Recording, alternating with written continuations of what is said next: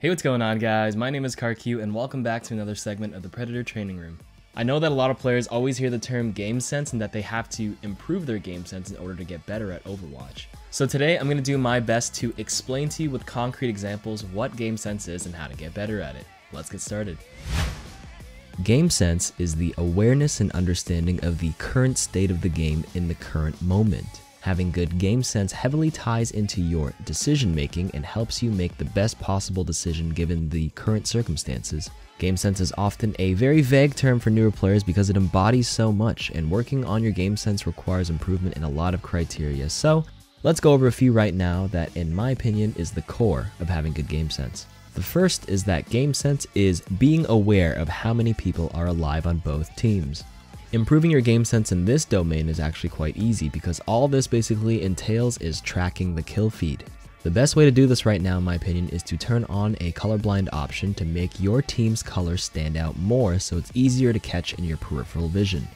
Make it a habit to quickly glance at it in the middle of hectic team fights to assess whether you're at a 5 versus 2 advantage or perhaps you lost some teammates and you're at a 3 versus 6 disadvantage. You know, knowing the current state of who's alive can determine whether you want to invest more abilities in ultimates or to just save them for a future fight. Now, another criteria of game sense is tracking ultimate and ability usage and cooldowns on the enemy and predicting what's going to be used next. One of the best ways to improve your decision making is to both consciously track enemy ultimate usage and cooldowns. If you watch some of the higher ranked streamers who verbally call out ability usage to their team, it can significantly affect how the team proceeds to attack the map. An example is to call out what the enemy team used in the previous fight, saying, okay, they used EMP and Earth Shatter last fight but didn't grab, so in this upcoming fight they'll probably use it, so please protect our Zenyatta so we have a Transcendence for it.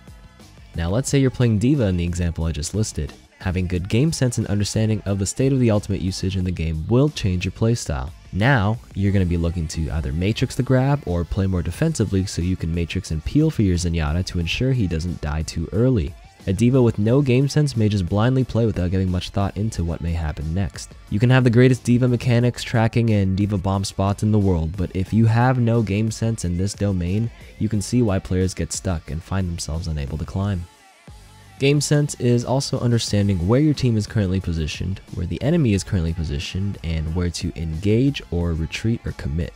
This is a big one for all my mobile DPS players out there. You can have the greatest Genji, Doomfist, or Tracer mechanics in the world, but you need to have the game sense or understanding of where your team is playing relative to your position and where the enemies are playing as well. There are times where I find myself playing Ana and looking to nano boost my Genji for the Dragon Blade combo, but he decides to dash too far behind the wall and pull out his Dragon Blade, die, and then blame me for not nanoing him. Oh, you're over the wall. There's also the big issue of main tanks such as Winston's engaging too far too fast and then blaming their team for not following up. The takeaway point here for game sense is to decide where to engage, commit, or retreat depending on where your team is currently positioned and where the enemy is positioned. Now, game sense is also understanding the map layout, sight lines, and what positions would make you a threat or make you vulnerable. A big part of Overwatch is high ground control, of course, and having an understanding of the map layout and areas that would make you a threat or put you in a vulnerable spot is a big part of game sense. An easy concrete example of this is if the enemy team is attacking second point Hanamura with Goats comp of Rein, Zarya, D.Va, Lucio, Brig, and Moira. If I'm a defensive Ana player and I position myself here by my spawn up these little stairs, my decision here puts me at a vulnerable position by all six of them because I can be rushed down very easily by their composition. If I had the game sense understanding that this is the enemy composition, I would much rather put myself up on high ground because instead of the whole team being able to potentially threaten me, now only D.Va has a chance to fly at me and potentially Lucio climbing up, and those are the only threats. I've effectively reduced my risk based on my positioning simply because I understood what the enemy team was trying to achieve with their composition and acted accordingly. Now, there are probably a lot more domains and examples of areas you can improve on under Game Sense, but I think those four encompass a big portion of it. And I want to move on to exactly how you can improve your game sense, generally speaking.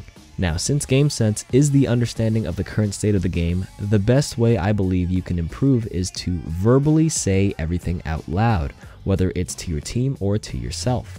Verbally call out what ultimates and abilities enemies used and what's on cooldown, verbalize to yourself where you're going to position and why you want to position there, and commentate. If you die, ask yourself why you died there, and how to stop it from happening again. Why do you want to flank here? Etc. etc. This is what I call conscious thinking, and saying things out loud like this will stop yourself from making as many mistakes and will actively improve your decision making. In your head, you may think, oh, I want to do this crazy flanks Zenyatta play, but if you verbalize and say it out loud, it may go something like, I know I have Transcendence, but I really want to flank this poorly positioned enemy Ana. But since you said it out loud, you may catch yourself in the act and say, wait a minute, I have Transcendence. They might use Graviton Surge this fight because they haven't used it in the last two fights. Instead of flanking this Ana, I should probably stay with my team so I can use the Transcendence defensively for my team. As you can see, verbalizing everything out loud stops you from going through the motions and just autopiloting. There are times where you're tilted and you're not thinking clearly, and this verbal self talk can help calm you down and focus.